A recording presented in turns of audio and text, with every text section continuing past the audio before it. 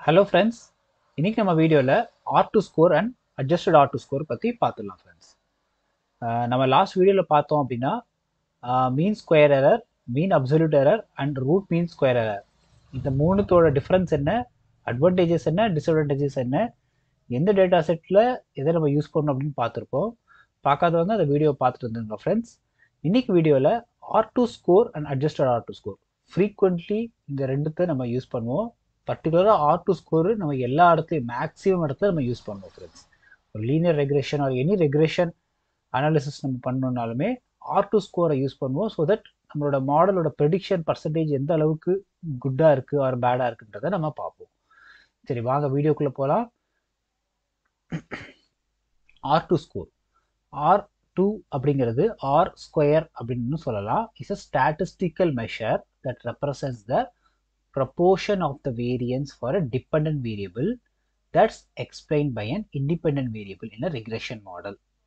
இதில் என்ன சொல்ல வராங்க அப்படின்னா ஒரு டிப ஒரு டிபெண்ட் வேரியபிள் இண்டிபெண்ட் வேரியபிள்ஸ் இருக்குது பார்த்தீங்களா டேட்டா செட்டில் அதாவது எந்த அளவுக்கான டிப அதாவது டிபெண்ட் வேரியபிளை ப்ரெடிக்ட் பண்ணுறோம் இதை ப்ரெடிக்ட் பண்ணுறதுக்கு எந் எந்த அளவு அளவுக்கான இண்டிபெண்ட் வேரியபிள் வந்து இந்த டிபெண்ட் வேரியபிளை ப்ரெடிக்ட் பண்ண யூஸ் ஆகுது அப்படிங்கிறது தான் இப்போ ஃபார் எக்ஸாம்பிள் இப்போது சேலரி அது எம்ப்ளாயி டேட்டா செட் எடுத்துக்கோங்க.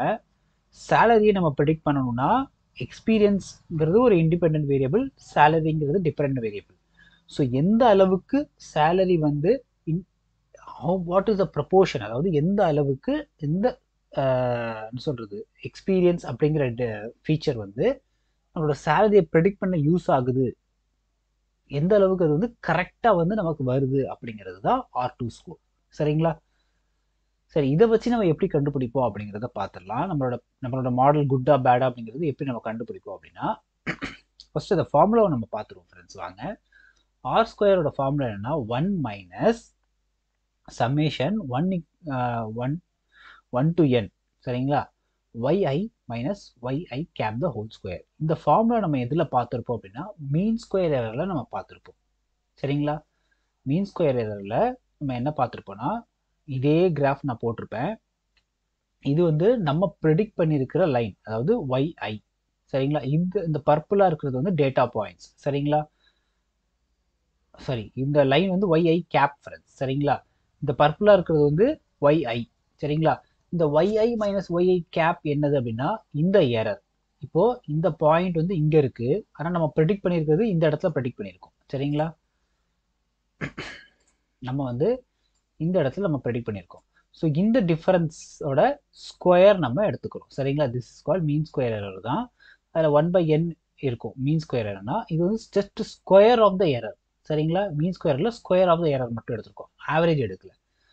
அதே இது இது வந்து நியூமரேட்டராக எடுத்துக்கிட்டு டினாமினேட்டரில் என்ன அப்படின்னா இப்போ இந்த டிபெண்ட் வேரியபிள் ஒய் இருக்கு இல்லையா ஃப்ரெண்ட்ஸ் இதோட mean value mean or average value எடுத்துக்கிட்டு இந்த இடத்துல ஒரு லைனை ட்ரா பண்ணிட்டு இந்த லைன் இதை வந்து இந்த லைனுக்கும் இந்த டேட்டா பாயிண்ட்ஸ்க்குமான டிஃபரன்ஸ் என்ன அப்படிங்கிறது அதாவது ஸ்கொயர் அந்த டிஃபரன்ஸோட ஸ்கொயர் தான் வந்து டினாமினேட்டராக எடுத்துக்கணும். ஸோ இப்போ இப்போ இங்கே டேட்டா பாயிண்ட் இருக்குது இந்த இந்த இதுதான் ஏரர் அப்படின்னு எடுத்துக்கிறோம் ஸோ இது அந்த லைன்லேயே இருக்குது ஸோ இது வந்து இந்த ஏரர் இங்கேருந்து இது வரைக்கும். இது வந்து இங்கேருந்து இது வரைக்கும் ஃப்ரெண்ட்ஸ் சரிங்களா? ஸோ இந்த மாதிரி இப்போ இது இது வந்து நம்ம மீன்லேருந்து நம்ம எடுத்திருக்கோம். சரிங்களா? இப்படி எடுக்கும்போது இது வந்து மேக்ஸிமம் எரராக இருக்குமா? ஜஸ்ட் அசியூம் பண்ணிக்கோங்க. இந்த டேட்டா பாயிண்ட்ஸ் எப்படி இருக்கோ டேட்டா பாயிண்ட்ஸ் நமக்கு எப்படி கொடுத்துருக்காங்களோ அதை பேஸ் பண்ணி தான் என்னது நமக்கு இப்போ இந்த டேட்டா பாயிண்ட்ஸ் இருக்கு இல்லையா ஃப்ரெண்ட்ஸ் இந்த டேட்டா பாயிண்ட்ஸ் பேஸ் பண்ணி நம்ம ப்ரெடிக்ட் பண்ணுற இந்த லீனியர் ரெகுலேஷன் லைன் வந்து அந்த டேட்டா பாயிண்ட்ஸுக்கு அக்யூரேட்டாக மேக்ஸிமம் இந்த எரர் வேல்யூ ரெடியூஸ் பண்ணி இந்த எரர் வேல்யூவை ரெடியூஸ் பண்ணி அக்யூரேட்டாக வந்து ப்ரெடிக்ட் ஆகி வந்து நிற்கும் சரிங்களா? கிட்டத்தட்ட அக்யூரேட்டாக சரிங்களா? ஆனால் இந்த மீன் வேல்யூங்கிறது மேக்ஸிமம் எரர் இந்த ப்ரெடிக்டட் லைனுங்கிறது மினிமம் எரர் கரெக்டுங்களா ஸோ இப்போ இந்த லைனுக்கு உள்ள ஸ்கொயர் ஆஃப் எரர்ஸ் வேல்யூக்கும் இந்த லைனுக்கு உள்ள ஸ்கொயர் ஆஃப் எரர்ஸ் வேல்யூவும் நம்ம தனித்தனியாக எடுத்துக்கிறோம். சரிங்களா? இப்போ இது வந்து கம்பல்சரி சின்னதாக தான் இருக்கும். இது வந்து பெருசாக இருக்கும். கரெக்ட் இது வந்து highest highest of the error இது வந்து லோயஸ்ட் ஆஃப் த எரராக இருக்கணும். புரிதுங்களா இந்த நான் மார்க் பண்ணுறது பாருங்க. இந்த mean value of the dependent variable வந்து ஹையஸ்ட் ஆஃப் த எரராக இருக்கும். சரிங்களா? ஹையஸ்ட் வேல்யூவாக இருக்கும். அதாவது ஹையஸ்ட் வேல்யூவாக இருக்கும். இது வந்து லோவஸ்ட் வேல்யூவாக இருக்கும். நம்ம இது இது வந்து நம்ம எவ்வளோக்கு எவ்வளோ லோவஸ்ட் வேல்யூவாக கண்டுபிடிக்கிறோமோ அதுதான் அப்போ வந்து ஆர் டூ வந்து பெட்டராக இருக்கும். சரிங்களா? இப்போ இங்கே பாருங்கள் நியூமரேட்டர் டினாமினேட்டர் இருக்குது ஃப்ரெண்ட்ஸ் இப்போ நியூமரேட்டரில் வந்து நம்ம ஒரு ஒன் இருக்குன்னு வச்சுக்கோங்களேன். டினாமினேட்டரில் டூ இருக்குன்னா என்ன வேல்யூ வரும்? பாயிண்ட் ஃபைவ் வரும். இப்போ டினாமினேட்டர் டுவெண்ட்டி வந்ததுன்னா ஜீரோ பாயிண்ட் ஜீரோ ஃபைவ் இதே டூ ஹண்ட்ரட் வந்ததுன்னா zero point zero zero five so one minus இந்த இந்த வேல்யூ வந்தது அப்படின்னா நம்மளோட ஆர் டூ வந்து என்ன என்ன ஆகும்? Ninety nine point nine nine வந்துடும் புரியுதுங்களா நைன் நைன் ஃபைவ் வந்துடும் ஓகேவா ஃப்ரெண்ட்ஸ்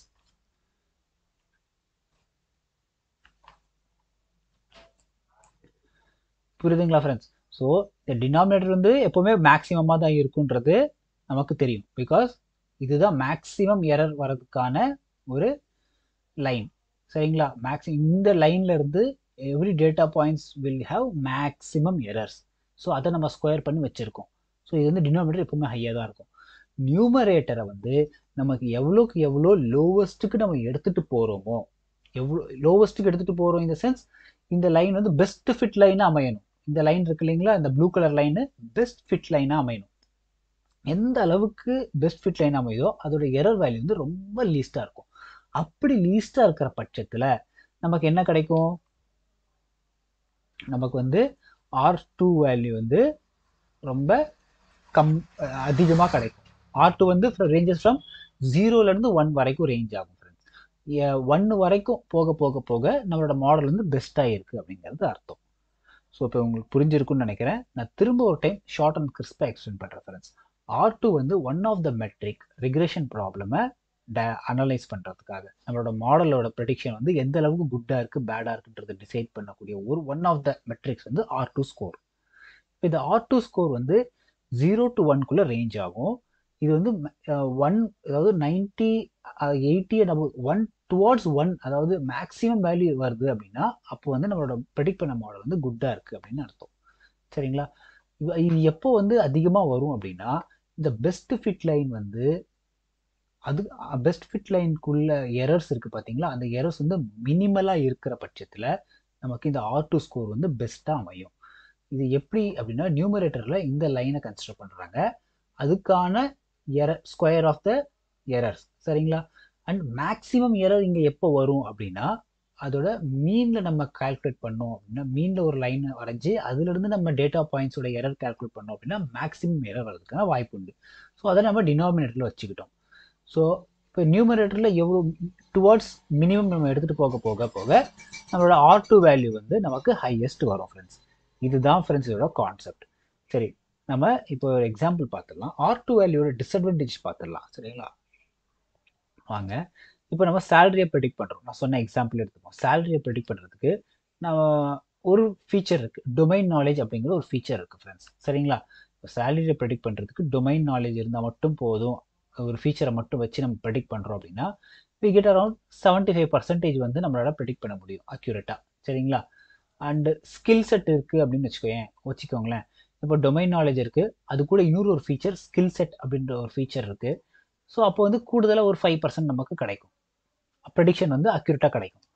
கூட இன்னொரு ஒரு ஃபீச்சர் இருக்குது எக்ஸ்பீரியன்ஸ் அப்படின்ற ஒரு ஃபீச்சரும் ஆட் ஆகும்போது we will get eighty five percentage வந்து அக்யூரேஸ்டாக நம்ம ப்ரெடிக்ட் பண்ணலாம் சேலரியை இப்போது சம்மந்தமே இல்லாமல் ப்ரீவியஸ் கம்பெனியில் ஒர்க் பண்ண எம்ப்ளாயி ஐடி அப்படிங்கிறத வந்து ஒரு ஃபீச்சராக கொடுத்துருக்காங்கன்னு வச்சுக்கோங்களேன். இதை பேஸ் பண்ணி நம்ம சேலரி பெடி பண்ண முடியுமா? அது முடியவே முடியாது. ஏன்னா ப்ரீவியஸ் கம்பெனியில் நீங்கள் என்ன வேணால் எம்ப்ளாயி ஐடியா எடுத்துக்கோங்க. அது இங்கே மேட்டரே கிடையாது.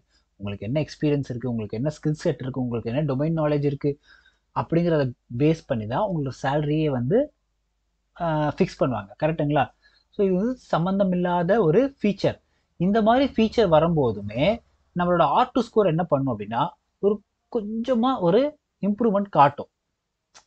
ஆர் டூவோட வேல்யூ ஆர் டூவோட நேச்சரே என்ன உங்களுக்கு? நம்மளோட ஃபார்முலாவே பார்த்தீங்கன்னா இந்த மாதிரி டேட்டா பாயிண்ட்ஸ் வந்து எப்படி வேணா இருக்கட்டும். அது வந்து எந்த டைரக்ஷனில் வேணா இருக்கும் நம்ம கர்ஸ் ஆஃப் டைன டைமென்ஷனாலிட்டியில் நான் சொல்லியிருப்பேன். ஸோ எப்படி இருந்தாலுமே வந்து இந்த பெஸ்ட் ஃபிட் லைனுக்கு வந்து ஒரு அடிஷ்னல் இன்ஃபர்மேஷன் கிடைக்கிறதால ஒரு அடிஷ்னல் இன்ஃபர்மேஷன் கிடைக்கிறது கிடைக்கிறதால இந்த ஆர் டூ வேல்யூ வந்து இன்க்ரீஸ் ஆகிறதுக்கான வாய்ப்பு உண்டு. சரிங்களா? ஸோ அதுவே வந்து இதுக்கான டிஸ்அட்வான்டேஜும் கூட. ஸோ இது இங்கே என்ன ஆகும் அப்படின்னா நமக்கு curse of dimensionality problem create ஆகுது. மல்டி கொலினாரிட்டி ப்ராப்ளம் கிரியேட் ஆகுது. ஆட்டோ கோரிலேஷன் ப்ராப்ளம் கிரியேட் ஆகுது. சரிங்களா? ஸோ இந்த மாதிரி தேவையில்லாத ஃபீச்சர்ஸ் நமக்கு உள்ளே இருக்கிறதுக்காக. ஆனால் நம்மளோட ஆர் டூ ஸ்கோரை பார்த்தீங்கன்னா அதிகமாக காட்டும். பட் இது தேவையில்லாத ஃபீச்சர் இதை நம்ம ரெடியூஸ் பண்ணணும். இந்த இடத்துல தான் அட்ஜஸ்டட் ஆர் டூ ஸ்கொயர் அப்படிங்கிற வந்து யூஸ் ஆகுது.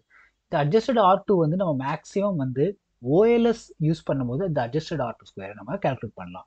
ஓஎல்எஸ் அப்படிங்கிற ஃபீச்சரே வந்து நமக்கு என்னென்ன ரிசல்ட் கொடுக்கணும் டர்பின் வாட்ஸன் டெஸ்ட் மல்டிகோலினாரிட்டிக்கான ரிசல்ட்டு ஆட்டோ கோரிலேஷன் ரிசல்ட் எல்லாமே வந்து அதில் கொடுத்துரும். ஸோ என்னோட என்னோட வீடியோ நீங்கள் பார்த்தீங்க அப்படின்னாலே லாஸ்ட் வீடியோவில் நான் எக்ஸ்பிளைன் பண்ணியிருப்பேன். என்னோட linear regression model learn linear regression model அப்படிங்கிற வீடியோவில் நான் தெளிவாக ஒரு ஒரு ஸ்டெப் பை ஸ்டெப் எதுக்கு ஓஎல்எஸ் யூஸ் பண்ணுறோன்றதையுமே நான் எக்ஸ்பிளைன் பண்ணியிருப்பேன் ஃப்ரெண்ட்ஸ் சரிங்களா? ஸோ அதில் பார்த்தீங்கன்னா நான் அட்ஜஸ்டட் ஆர் டூ ஸ்கோர் எப்படி கேல்குலேட் பண்ணுறதையும் சொல்லியிருப்பேன். இதில் அதோட ஃபார்முலாவே பார்த்தீங்க அப்படின்னா ஃப்ரெண்ட்ஸ் எப்படின்னா ஒன் மைனஸ் அது வந்து அதில் என்ன சொல்லியிருந்தாங்க? அந்த பெஸ்ட் ஃபிட் லைனோட எரர் ஸ்கொயர்ஸ்க்கும் மீன் மேக்ஸிமம் எரர் ஸ்கொயருக்கும் கொடுத்துருந்தாங்க. இதில் வந்து நியூமரேட்டர் பார்த்தீங்கன்னா இந்த ஃபார்முலா வந்து நீங்கள் மனப்பாடம் பண்ணணும்லாம் அவசியம் இல்லை. எந்த இன்டர்வியூலும் மேக்ஸிமம் கேட்க மாட்டாங்க ஃப்ரெண்ட்ஸ் சரிங்களா? Intern why we use adjusted R ஸ்கொயர்ன்ற வே கொஷின் மட்டும் கேட்பாங்க.